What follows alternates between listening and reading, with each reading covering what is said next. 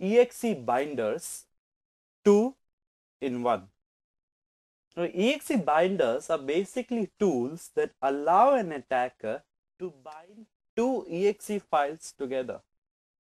Now, if you remember in the Trojans section, we had discussed that the biggest problem associated with a Trojan is the fact that how can you actually install a Trojan on the victim's computer?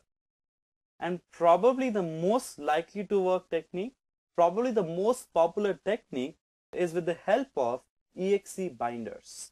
So exe binders, what they do is they take a harmless exe file.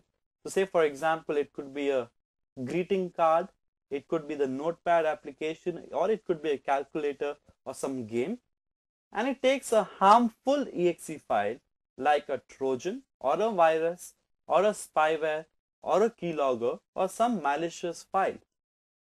Now the exe binder will join or bind the two files together and create one resultant exe file.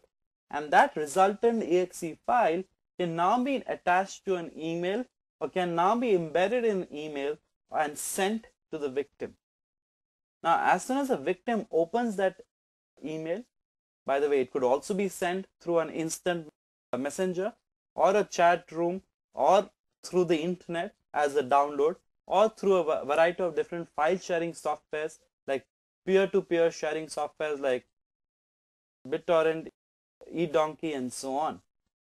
Now what happens is, imagine a scenario wherein you have created such a combined file or a resultant file which is then downloaded to the victim's computer and as soon as the victim executes that exe file, what happens is the harmless exe file which could be a greeting card or a flash application or a game or a notepad or a calculator or something which is very harmless automatically that gets executed.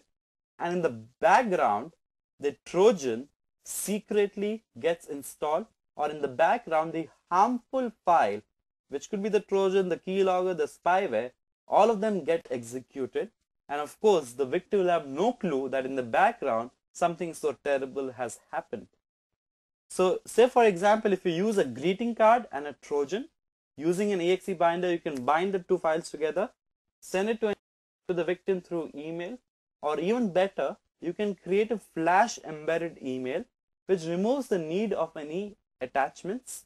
As soon as the, the victim opens the email, of course the flash greeting card shows up on the screen, but in the background, secretly the Trojan gets installed and while the victim is looking at all the flash animations and special effects and sound and graphics, automatically, secretly, the victim's computer is getting infected with a Trojan. So when a user executes the final exe or the resultant file or the combined file, then the harmless exe file gets displayed on the screen and in the background the harmful exe file gets secretly executed. So in the next section, I'll actually be giving a live demonstration of what an exe binder looks like. I'll be giving you examples of the most popular exe binders and how easily you can bind two files together using an exe binder. It is a lot of fun.